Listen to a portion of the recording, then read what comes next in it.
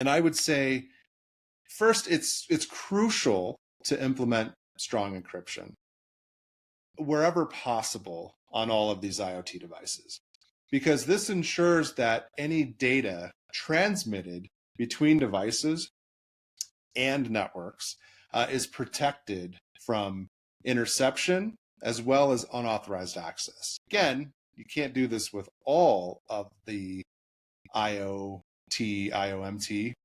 So I would say uh, if you can, establish a regular update and make it a schedule.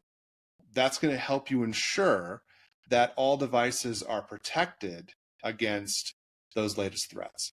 So I would say uh, another important step is to use strong and unique passwords wherever possible. So make sure you go through and change those to something complex, unique, but simple enough where you are not uh, making it challenging to maintain and, and leverage that security.